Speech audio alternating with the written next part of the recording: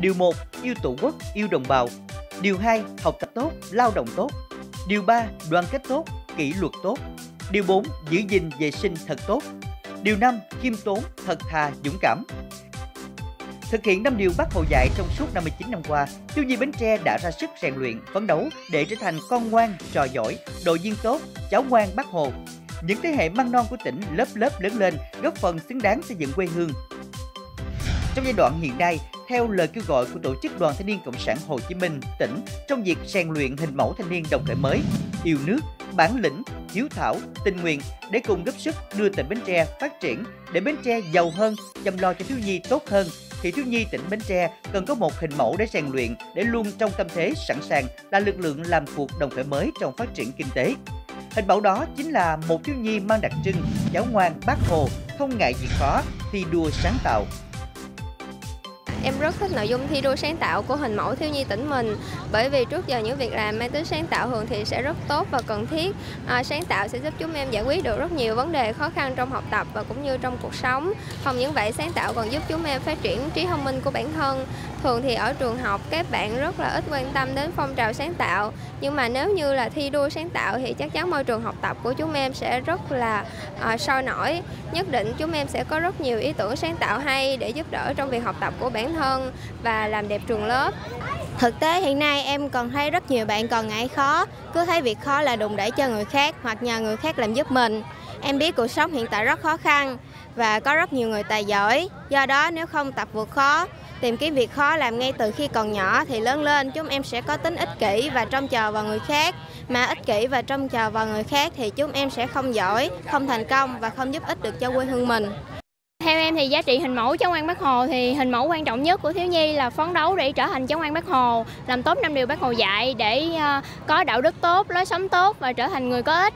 À, những cái biểu hiện cụ thể theo em như là mình phải yêu và tự hào về nơi mình đang sống, về quê hương và đất nước mình và mình phải ờ, ra sức thi đua học tập tốt, và không ngừng rèn luyện tu dưỡng đạo đức cũng như lối sống một cách hoàn chỉnh. À, nếu như đạt được những điều này thì mỗi đội viên sẽ ngày càng hoàn thiện bản thân mình hơn, à, góp phần à, đưa quê hương Bến Tre ngày càng phát triển hơn trong tương lai. Hình mẫu thiếu nhi Bến Tre cháu ngoan Bắc Hồ không ngại việc khó thi đua sáng tạo được chính thức ra mắt tại Đại hội cháu ngoan Bắc Hồ tỉnh Bến Tre lần thứ 12 năm 2020 sẽ là bước khởi đầu quan trọng để tạo nên một thế hệ thiếu nhi đồng khởi mới.